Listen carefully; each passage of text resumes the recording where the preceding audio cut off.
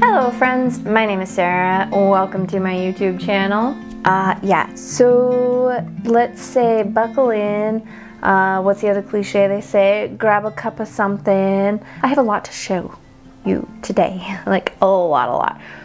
So let's get into it. The first things I have to show you are old finished projects that I have ripped out certain elements of and have redone them. The first one is my denim sweater. This yarn is Wool and the Gang's recycled denim yarn. I think it's called Billie Jean. I don't remember which color this one was. It's the mid-tone denim. There's like a light one and a dark one and then this one. So I made a crocheted sweater years ago out of this and didn't like it and it, I like never wore it. So I ripped it out and I made this. I had the neckline was just like kind of like this and it wasn't anything I was particularly excited about, didn't enjoy it. So I picked up and I just knit like straight up and it had like a rolled collar. Thought I'd like it. I didn't like it. Didn't like it at all. So I had contemplated literally cutting into my knitting and creating a V, like sewing an edge, sewing a V, cutting into it, and then uh, like crocheting an edge or doing an I-cord or something like that. But then was like, I have this long, straight stockinette section. So I rolled it over and created a rolled egg collar and it looks fabulous. I've already worn it several times. Uh, the other thing that I have not done yet that I plan on doing is making the sleeves longer. The sleeves are just like a hair too short. So I plan on ripping out this crocheted little edge and then knitting a little bit longer like to here, like to here and then recrocheting the edge. I could crochet more onto the end and I had considered it. However, the crochet is a little bit thicker and I don't think I want this much sleeve and crochet. So I'm gonna rip back, knit a little knit a little more length and call it good. So yeah, my denim sweater is just a drop shoulder, no pattern, long back hem. It's fabulous and I've already worn it a lot. Uh, and once I knit the sleeves longer, I'm gonna love it that much more. All right, because I have no problem with ripping out my knitting and fixing issues with things, I've ripped out sleeves on another sweater. The next one I have is my fuzzy raglan sweater, which is knit out of loops and threads, cozy wool tweed, something like that. There's more info on previous episodes when I actually finished this earlier in the year. But uh, the sleeves aren't long enough. I wore it maybe once or twice throughout the rest of winter and I love this color and it's fuzzy and soft and I definitely would wear this. I just, it, I have to have long, long sleeves, like not bracelet or like it has to be like hit me here, has to.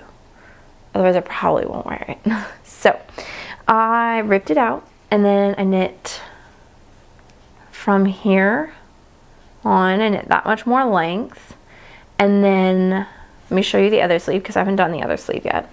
This one has kind of a cinched in wristband and I kind of wanted a wider one. So I decreased fewer stitches. I only decreased I think one or two to get to the amount I needed to do a two by two rib so yeah, and I like this much better. So I will get around to doing the other sleeve at some point, uh, as well as the denim sweater. But for now, again, I'm not in a hurry. I just want to have it done before fall, and it will get done before fall. I don't mind ripping out my knitting and redoing it. It doesn't really bother me at all. It's just a matter of getting around to actually doing it.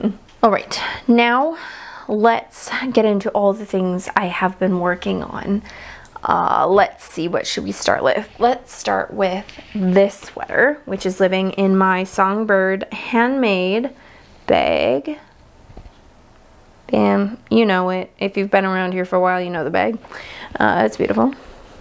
In here is my cotton sweater. So this is made out of Drops Safran. It is a 100% cotton yarn. I have finished the first sleeve and have started the second sleeve. I really want to get this one done. I don't mind projects taking a long time. Like I don't need projects to be like super quick. I mean, some things I would prefer were quicker, like a project I will show you in a minute. But uh, something like this, a fingering weight cotton sweater, I don't mind that it takes me a while, but I'm kind of just done knitting it. I don't want to knit it anymore. I want to knit something new and fresh and shiny. But I don't like to have too many garments going at once because otherwise I feel like I ignore them and then they never get done. And I know I would wear this in the remaining bit of summer. I'll also wear it through fall and winter. I like cotton. So, yeah. But I also have decided I'm going to rip out the hem. I did an I-cord and I don't like it at all. It doesn't fit this sweater and it keeps rolling and doing weird things. It just doesn't look very polished and nice. So I'm gonna do what I did on the sleeve and do a just a short one by one twisted because I feel like the twisted looks nice with the cotton because cotton can be kind of a pain to knit with. It can, it's, you have to be very even with your tension. So if you're not even with your tension, you get a lot of weird loops and bumps and stuff. So yeah, there's some areas in this sweater where kind of, I'm hoping a blocking will help it out, especially in the freaking sleeve. Can you see it? See the line where my stitches were on hold? It always seems to happen with all sweaters, but the cotton, it's looking looking a little bit extra. Uh, but yeah, cotton sweater. We'll say more when it's done. Hopefully it'll be done sooner rather than later. That, which has no pattern, by the way, just so you know. Okay, so the next garment that I have been working on is my v-neck raglan that also has no pattern. I am knitting this out of Lion Band, Lion Band, oh my gosh, words, Lion Brands Truboo, which is 100% bamboo. Look at this drape, guys. It's so drapey and lovely. We will see how this wears though, because it is super soft and super drapey and very, like you think cotton is very particular about tension. the bamboo is that much more. Oh my goodness. It's been a bit of a struggle. There's a few areas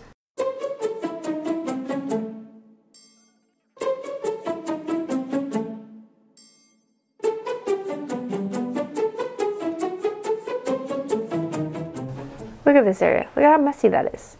That's where I've joined a new ball of yarn and I haven't woven in the ends, but I need to, I need to because the, ah, it's stressing me out. so I'm gonna weave in the ends. I'm gonna tie the end because uh, Inga from Knitting Traditions talks about how she does that with like cotton projects. She weaves in like a ridiculously long tail and then she ties a teeny little knot. I think I'm going to do that here with this. Uh, but I'm going to have to even all of those little stitches out. I'm really hoping that this will be enough to get me done with the body, though I highly doubt it because I really don't want to join another ball and have to do that again somewhere on the body. I was very particular, like once I was getting near the end of the first ball, I purposely it was going to run out like in the middle of the front of the body and I was like yeah I don't really want that there. So I purposely stopped early under the arm. So yeah I'll make sure I do that again. But yeah.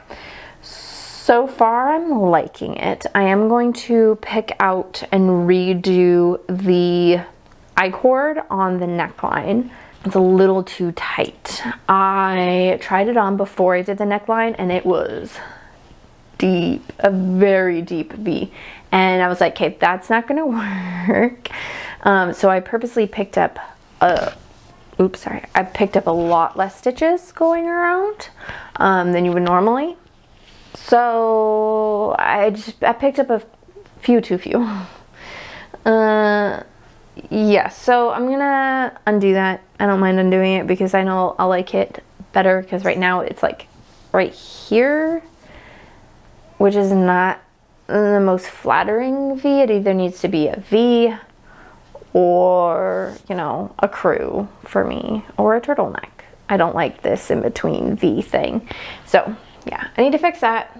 But otherwise, yeah, talk about it more when I get around to, you know, finish finishing it. I'm hoping I can finish this soon, like in the next week.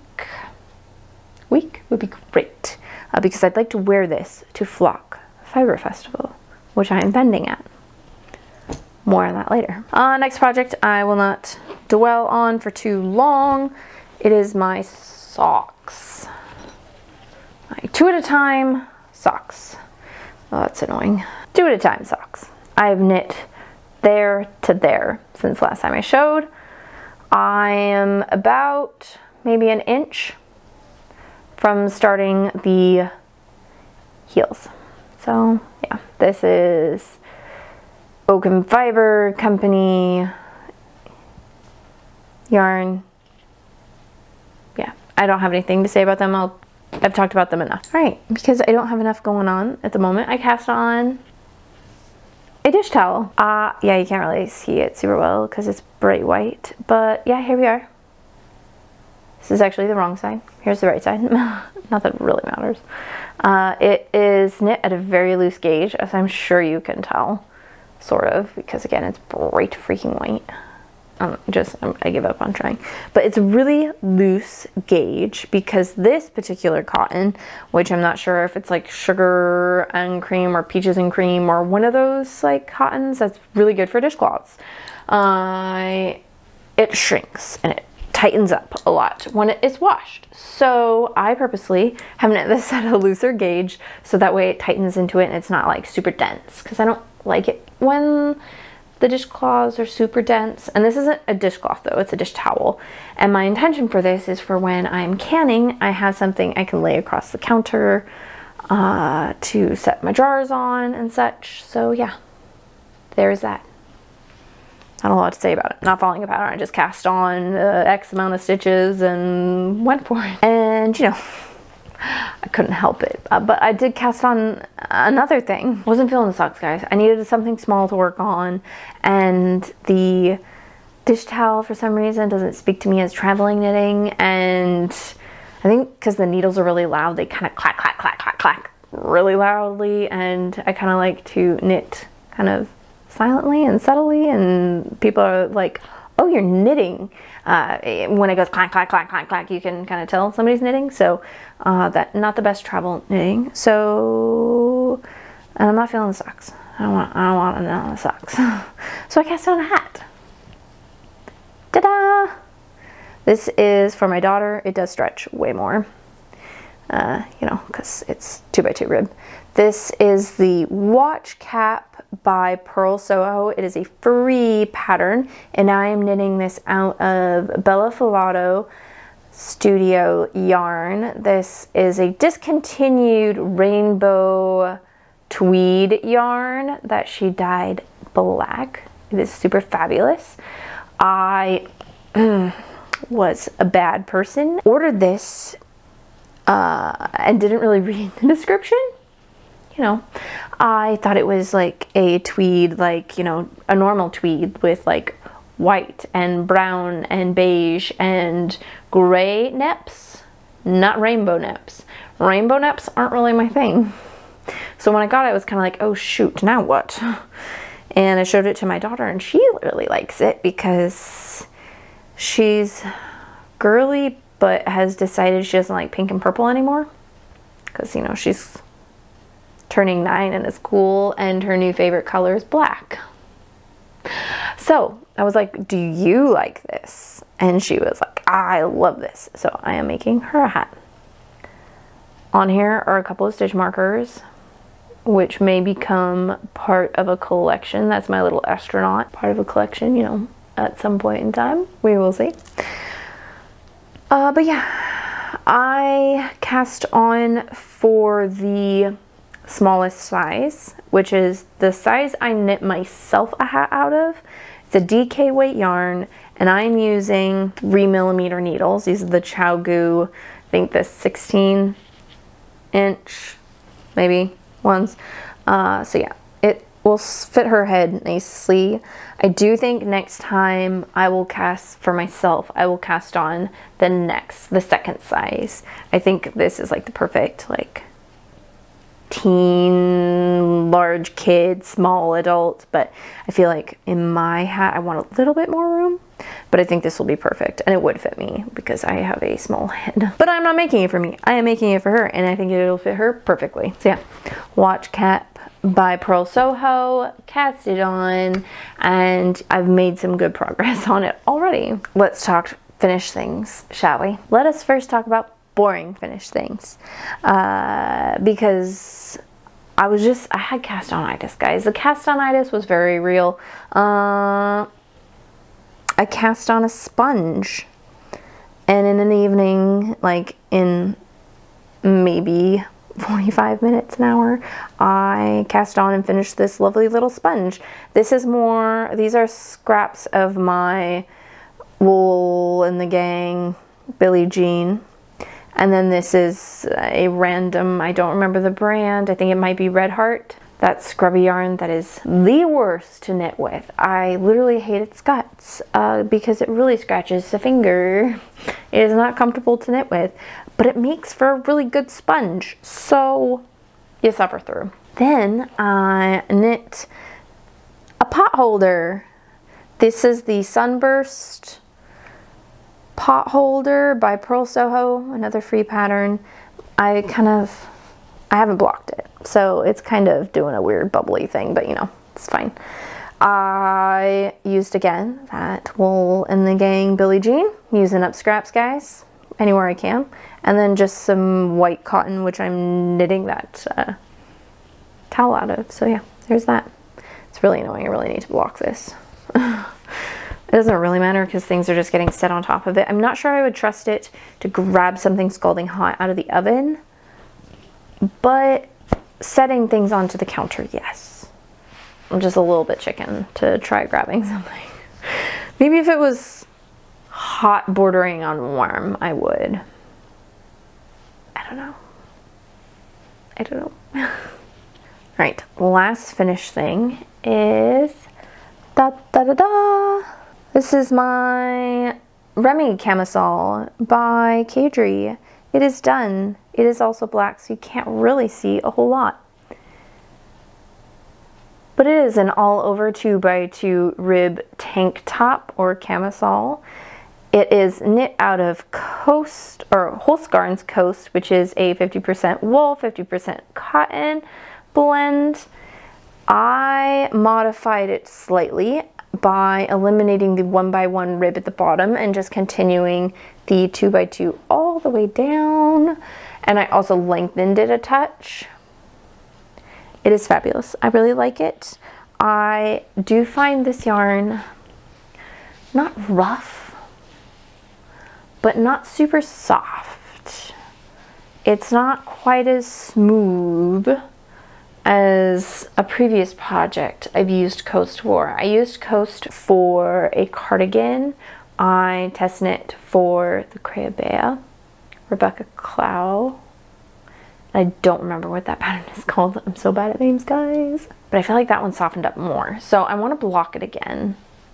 I also need to look into seeing if this can go through the washer, the dryer or not. I don't know. I brought my other Rem Remi over here to show you. This is my previously knit one. This one has the one by one rib at the bottom and I didn't want it at the bottom because I feel like it flares with the one by one at the end.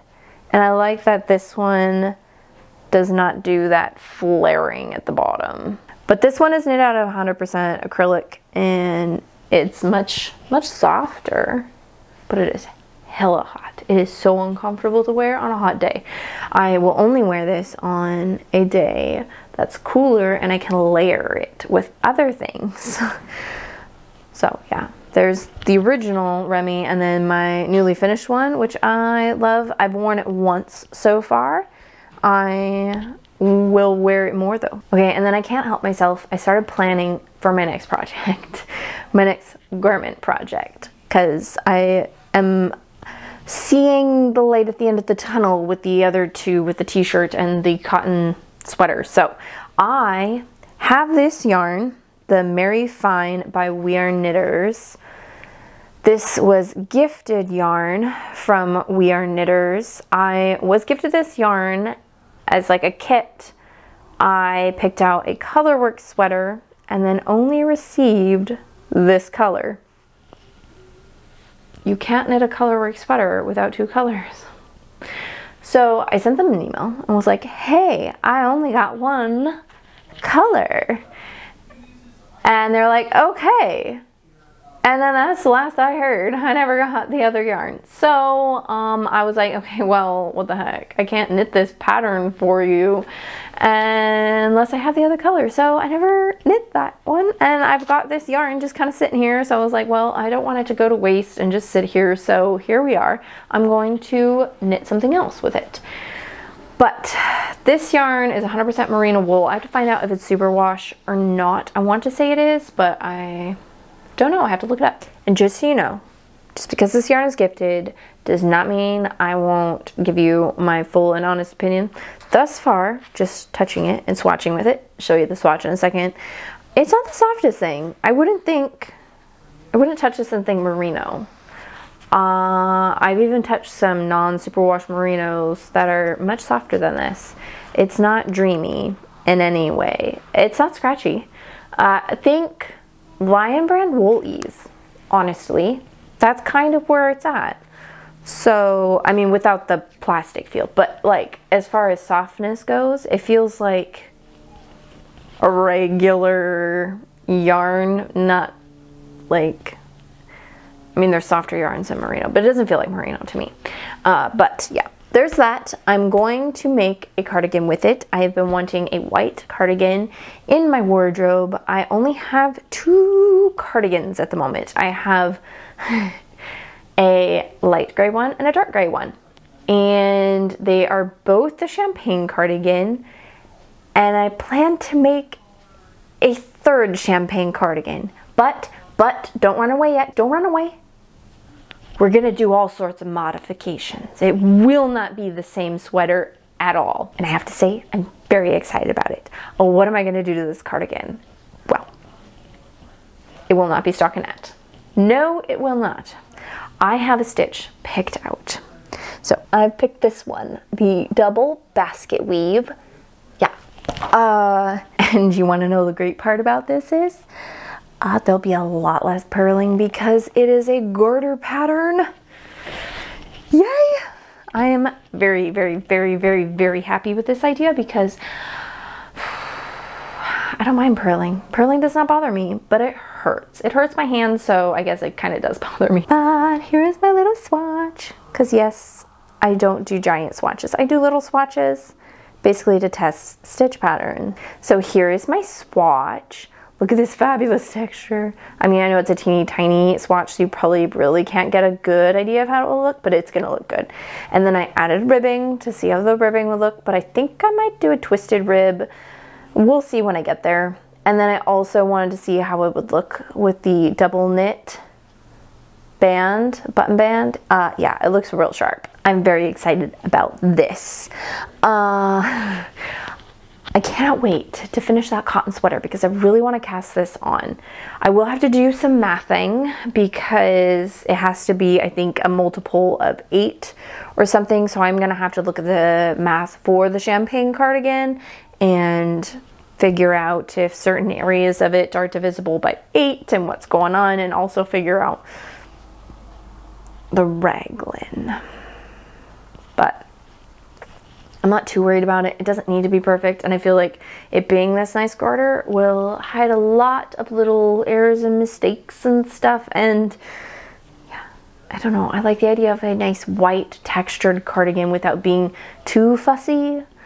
Like I really love the idea of an all over cabled cardigan, but I don't quite have enough yarn for that and I don't want to order more. This is free yarn, so yeah, I want to use the free yarn and not have to order more yarn. I want it to get used, not wasted, but I don't want to add anything to it. So there will be enough to make a regular cardigan. I may lengthen it too. I may lengthen it and I may add pockets. So it won't really be a champagne cardigan in any way. I'm just using the base math is all I'm doing. Okay, so that is basically it for the knitting. I don't have any more stuff. I have not received or purchased any new yarn because I have yarn right now and I don't need any more yarn. I'm knitting with what I've got. So there's that. But I do have a yarny-ish thing to show you that I made. And this will kind of segue us into the art section. But I have a new bag that I've painted. I will have these cute little, oh, hold on. I will have these, these cute little zipper bags. I can't, oh, can't see what I'm doing here. These cotton canvas zipper bags available at Flock Fiber Festival first weekend in August in Seattle, Washington. If you are in the Pacific Northwest, I love to see you. Or if you're willing to travel across country, well, that would be cool to see you too.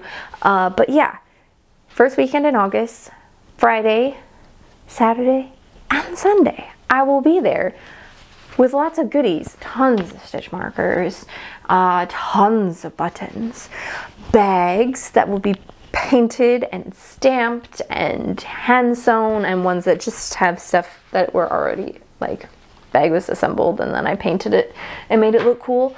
Uh, yeah, all sorts of things. I'm very excited and I can't wait to meet. So I'm a little bit nervous about that because I'm, yeah, talking to people in person is not my strong suit. Uh, talking to a camera is easy because it's just me talking to a box, basically.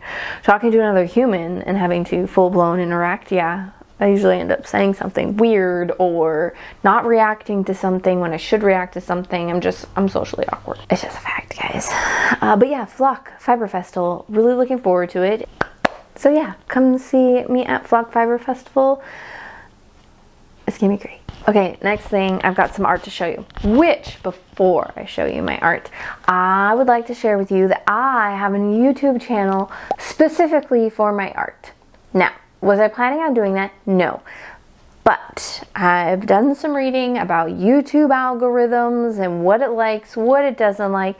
It doesn't like when you have two different types of content, media, two completely different styles in one. Because when you have, say, subscribers that are into just knitting, and then you share a painting video, and those knitters aren't into the painting video, so they don't watch it so then it kind of drops you down in the algorithm, that painting video. But then the next knitting video you publish, uh, well, because your last video did so poorly, they you get knocked down in the algorithm. So I've divvied it up. I now have a new channel for just my art. So if you're into art painting like videos, I would love it if you'd hop on over there and subscribe. That's amazing. I will have a link down in my bio as well as in my like YouTube channel thing, there's like home and videos, and then there's a little tab that says channels. If you click on that, I have that channel featured there. So you can go check it out there as well. But as always, I'm going to share with you what I've recently painted. Because, you know, since we're talking about that YouTube channel, I will show two paintings that I actually have painting videos for on that channel. So the first one is this strawberry painting.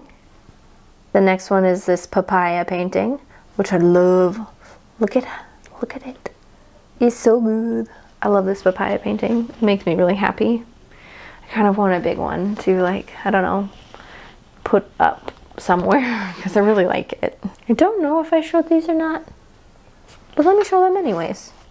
I have a little forest, which I'm not a huge fan of. I don't like the way it turned out. Uh, the color mixing down here is not my best and then a widow mushroom. Isn't he cute? They have a little bird. We'll have a little tractor, which I really like this like above view.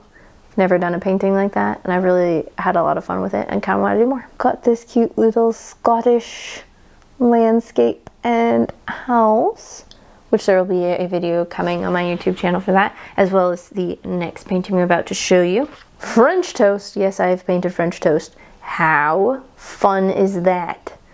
I never really painted food much before, and then I did the fruit study ones, and then I decided to do this one, and I'm obsessed. I want to do all the food study paintings. Okay, the next one is me experimenting with a new medium. Yeah, I know. Do I need a new medium? No. Uh, but this is alcohol markers. My sister has a set of them, so I asked her if she could bring them to the street fair we were just vending at. And so she brought them, and this was like a little shop, like kind of down the street from us. So I drew or painted, colored. I don't know what you would consider alcohol markers. You paint like they have a brush tip. Should I paint this? Should I color this?